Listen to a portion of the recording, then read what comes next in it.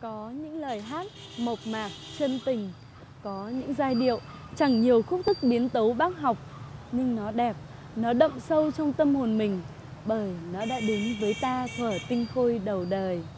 Đến và ở lại bởi tình yêu đời, yêu người. Đến và đậm sâu lan tỏa để không một ngày nhạt phai Vì chúng ta đã có một Hải Phòng như thế một bài hát như thế trong tầm cao thượng lý những năm 60 của thế kỷ đã qua. Thank you.